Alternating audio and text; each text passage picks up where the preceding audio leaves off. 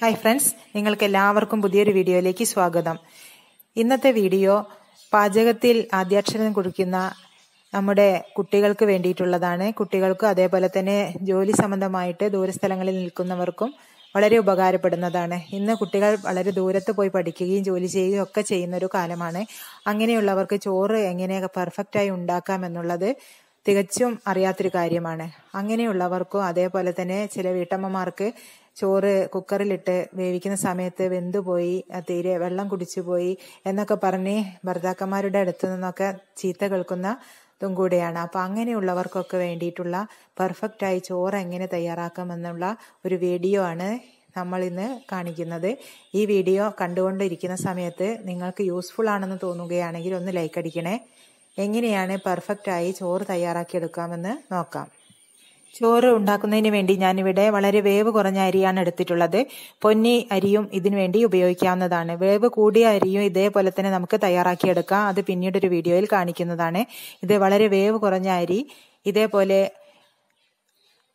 അഞ്ഞൂറ് ഗ്രാം അരി ഞാൻ എടുത്തിട്ടുണ്ട്.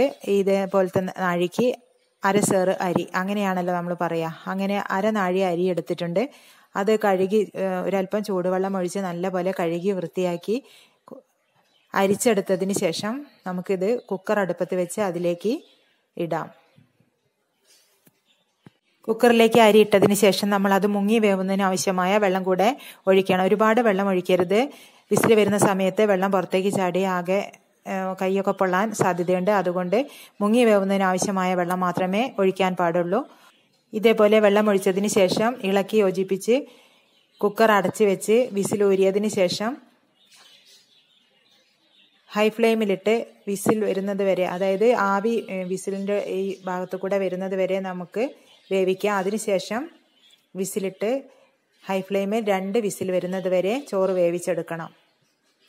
അതിനുശേഷം രണ്ട് വിസിൽ വന്നതിന് ശേഷം നമുക്കിത് തണുക്കുന്നതിന് വേണ്ടി മാറ്റിവെക്കാം. കുക്കറിന്റെ ആവി നല്ലപോലെ പോയതിന് ശേഷം നമുക്കിത് തുറന്നു നോക്കാം. നമ്മുടെ ചോറ് മുക്കാൽ ഭാഗം വെന്ത് വന്നിട്ടുണ്ട്. ഇനി നമുക്കൊരു അല്പം വെള്ളം ഒഴിച്ച് ഇതിന്റെ കട്ട ഉടച്ചെടുക്കണം. അതിനുശേഷം ചോറ് മുങ്ങി വേവുന്നതിന് ആവശ്യമായ വെള്ളം കൂടെ ചേർത്ത് ഇതുപോലെ വെള്ളം ചേർത്തതിന് ശേഷം നമുക്ക് കുക്കറിന്റെ അടപ്പ് അതിന് മുകളിൽ വെച്ച് നല്ല പോലെ തിളപ്പിച്ചെടുക്കണം.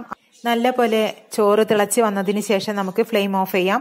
അതിനുശേഷം കുക്കറിന്റെ അടപ്പ് ശരിക്കും ഇട്ട് ഒരു അഞ്ച് മിനിറ്റ് നമുക്ക് വെക്കാം. എങ്കിൽ മാത്രമേ നമ്മുടെ ചോറ് നല്ല പോലെ വെന്ത് വരികയുള്ളൂ. അങ്ങനെ അഞ്ച് മിനിറ്റ് നമുക്ക് വെക്കാം. അഞ്ച് മിനിറ്റിന് ശേഷം നമ്മുടെ കുക്കർ തുറന്ന് നോക്കാം. അങ്ങനെ നമ്മുടെ ചോറ് നല്ല പോലെ വെന്ത് വന്നിട്ടുണ്ട്. ഇത് നമുക്ക് ഒരു വാർക്കുന്നതിനുള്ള പാത്രത്തിലേക്ക് മാറ്റാം. ഞാൻ ഇതുപോലുള്ളൊരു കുക്കറാണ് എടുത്തിട്ടുള്ളത്. ചോറ് വാർക്കുന്നതിന് വേണ്ടി. അത് അതിലേക്ക് ചോറ് എടുത്ത് ഒഴിച്ചതിന് ശേഷം നമുക്ക് ഒന്നും കൂടെ തിളപ്പിച്ചെടുക്കണം. എങ്കിൽ മാത്രമേ ചോറിന്റെ വെള്ളം ഒഴിച്ച് വാർക്കുന്ന സമയത്ത് പെർഫെക്റ്റ് ആയി ചോറ് കിട്ടുകയുള്ളൂ. അതിനുവേണ്ടി നമ്മൾ ചോറ് നല്ല പോലെ അടുപ്പത്ത് വെച്ച് തിളപ്പിച്ചെടുക്കണം. ചോറ് നല്ല പോലെ തിളച്ച് വന്നതിന് ശേഷം നമുക്ക് ഇതിലേക്ക് വെള്ളം ഒഴിച്ച് വാർക്കണം. അതിനുവേണ്ടി ഒരുപാട് വെള്ളം ഒഴിക്കേണ്ട ആവശ്യമില്ല. ഇതേപോലെ കുറച്ച് വെള്ളം ഒഴിച്ച് നല്ലപോലെ ഇളക്കി കൊടുത്തതിന് ശേഷം അതിന്റെ സ്റ്റാർച്ച് ഇതേപോലെ വാർത്ത് കളയണം. അതേപോലെ രണ്ട് പ്രാവശ്യം വെള്ളം ഒഴിച്ച് നമുക്ക് ഇളക്കി കൊടുത്ത് ഈ സ്റ്റാർച്ച് ഇതുപോലെ കളയാം. അതിനുശേഷം നമുക്ക് ഇത് കുക്കറിന്റെ ഗ്യാസ്കറ്റ് എടുത്തതിന് ശേഷം അടപ്പിട്ട് വെള്ളം വാർക്കുന്നതിന് വേണ്ടി നമുക്ക് മാറ്റിവെക്കാം. ഒരു അല്പസമയം നമുക്ക് ഇതേപോലെ വാർത്ത് വെക്കാവുന്നതാണ്. എങ്കിൽ മാത്രമേ ചോറിലെ വെള്ളം മുഴുവനായും പോവുകയുള്ളൂ. ഇതിന് പകരമായി നമുക്ക് അരിപ്പയിലും ചോറ് ഇതേപോലെ എടുത്തിട്ട് നമുക്ക് വെള്ളം വാർത്ത് കളയാവുന്നതാണ്. അങ്ങനെ അല്പസമയത്തിന് ശേഷം കുക്കർ തുറന്ന് നോക്കാം. അങ്ങനെ നമ്മുടെ ചോറ് വളരെ പെർഫെക്റ്റ് ആയി വെന്ത് വന്നിട്ടുണ്ട്. ഇത് നമുക്കൊരു കേസറോളിലേക്ക് മാറ്റാം.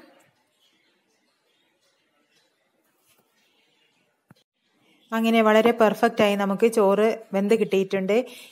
തുടക്കക്കാരായിട്ടുള്ളവർക്ക് ഇത് പ്രയോജനപ്പെടുന്നൊരു വീഡിയോ ആണ്. അതുകൊണ്ട് തീർച്ചയായും സ്കിപ്പ് ചെയ്യാതെ വീഡിയോ കണ്ടതിന് ശേഷം ഇതേപോലെ ഉണ്ടാക്കി നോക്കണേ. എല്ലാവർക്കും നല്ല പെർഫെക്റ്റായി ചോറ് തയ്യാറാക്കിയെടുക്കാൻ പറ്റും. കൂടാതെ ഈ വീഡിയോ നിങ്ങൾക്ക് ഇഷ്ടപ്പെടുകയാണെങ്കിൽ ലൈക്ക് അടിക്കണേ. കൂടാതെ സബ്സ്ക്രൈബ് ചെയ്യാനും മറക്കരുത്. അടുത്തുള്ള ബെല്ലൈക്കൺ കൂടെ പ്രസ് ചെയ്ത് ഓൾ എന്ന ഓപ്ഷൻ കൂടെ എനേബിൾ ചെയ്താൽ മാത്രമേ ഇനി ഞാൻ ഇടുന്ന വീഡിയോസിന്റെ നോട്ടിഫിക്കേഷൻസ് നിങ്ങൾക്ക് ലഭിക്കുകയുള്ളൂ. മറ്റൊരു വീഡിയോയിൽ പുതിയൊരു റെസിപ്പിയുമായി കാണുന്നവരേക്ക് എന്റെ എല്ലാ കൂട്ടുകാർക്കും ഒരിക്കൽ കൂടെ നന്ദി നമസ്കാരം.